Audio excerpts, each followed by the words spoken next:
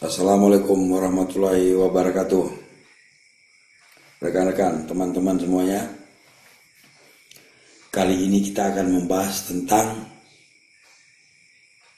pejalan kaki yang tertabrak di jalan tol. Ya kan? Bagaimana? Itu banyak juga pertanyaan, Bang, kalau kita bagaimana kalau nabrak orang pejalan kaki di jalan tol? Inilah yang akan kita bahas. Kita langsung aja ke dasar hukumnya rekan-rekan.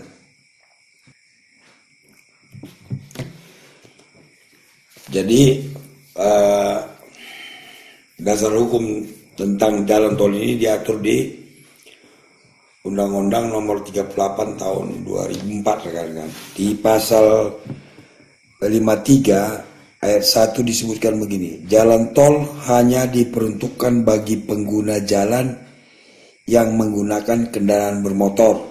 Ya. Itu dia.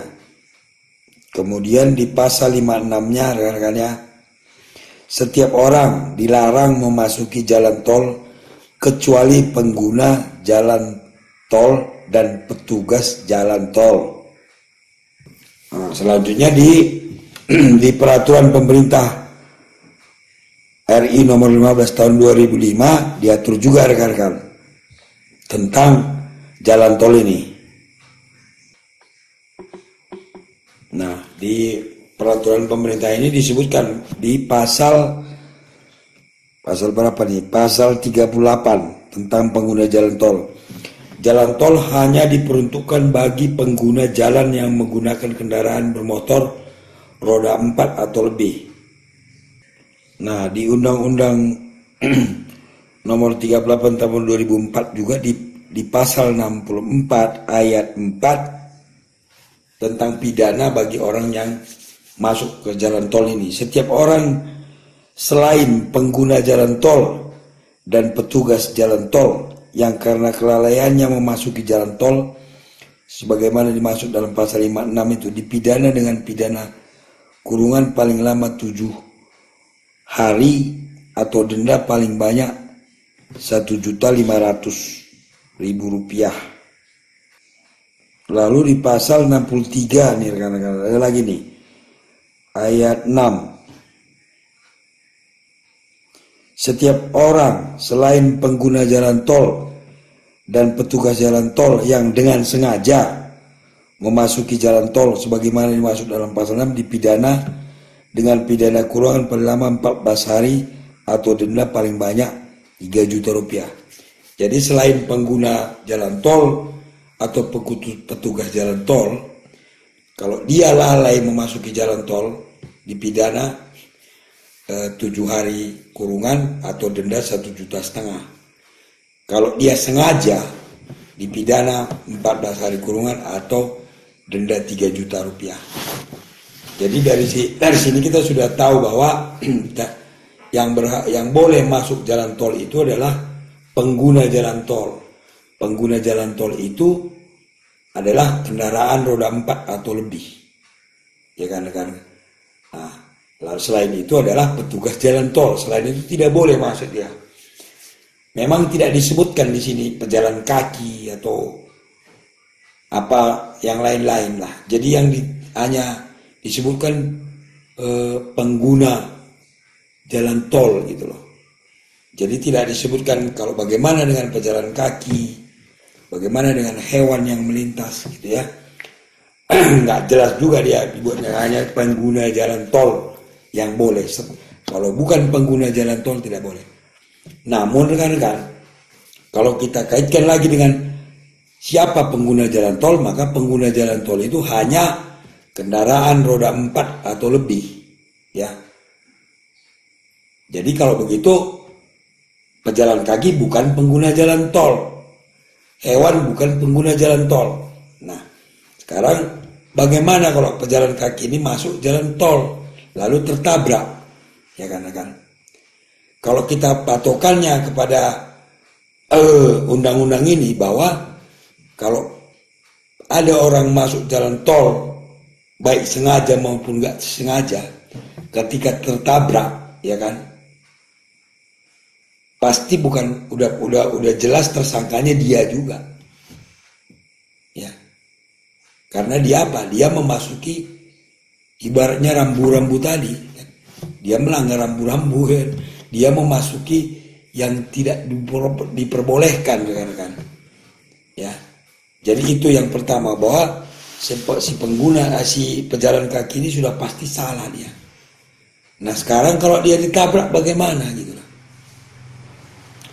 ada yang berpendapat bahwa lihat dulu apakah si pengendara ini melanggar melanggar lalu lintas atau tidak ya. Misalnya kita anggap mobil nih mobil menabrak pejalan kaki di jalan tol. Ada yang berpendapat lihat dulu oh, si pengendara ini apakah melanggar atau tidak maksudnya di sini melanggar kecepatan ya ya rekan-rekan Misalnya kecepatan di jalan tol itu kan maksimal 100 atau ada yang 80 tergantung tergantung rambu-rambu petunjuknya. Kalau misalnya kita anggaplah di situ eh, batas kecepatan maksimal 80 km per jam. Lalu si pengendara ini 90 km per jam, berarti kan dia melanggar nih. Nah terjadi kecelakaan bagaimana? Ada yang berpendapat eh, si pengendaranya salah, ya kan? Tapi kalau menurut saya, pendapat pribadi saya nih, ya tidak ada sangkut paut dengan apa pun, siapa pun, lembaga mana pun. Menurut pendapat saya, tidak bisa disalahkan si pengendara, ya kan? Kalau si pengendara melampaui kecepatan uh, maksimal, kecepatan maksimal, berarti dia ditilang, ya kan? itu hukumannya ditilang dia. Nah, kalau dia nabrak orang di situ bagaimana bang? Nah, itu tadi karena orang tadi itu pun tidak boleh sudah jelas undang-undang melarang masuk ke dalam itu, ya kan?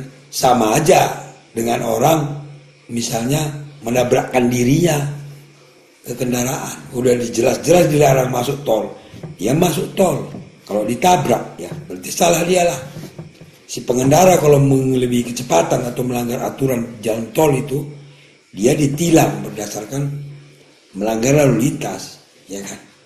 Tapi terjadinya tabrakan itu kan penyebabnya pejalan kaki yang masuk ke, jalan tol.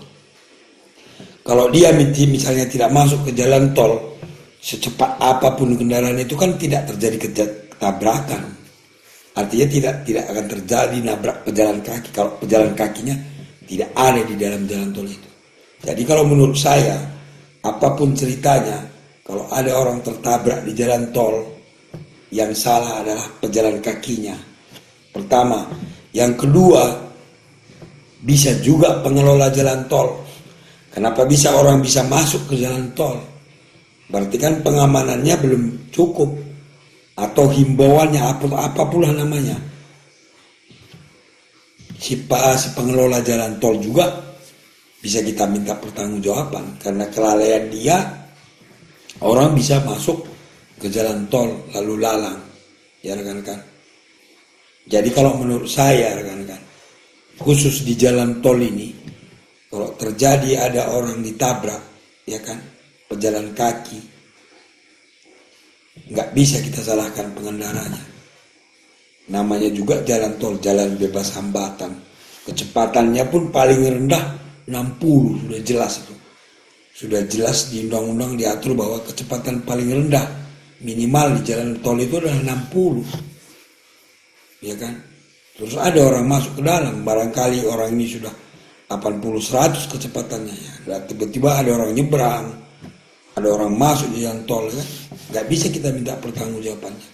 Mereka juga sudah bayar di situ rekan-rekan. Ya itu menurut pendapat saya rekan-rekan. Barangkali kita berbeda pendapat nggak ada masalah ya kan? Mudah-mudahan ini bisa menambah wawasan kita tetap semangat jauhkan diri dari masalah. Assalamualaikum warahmatullahi wabarakatuh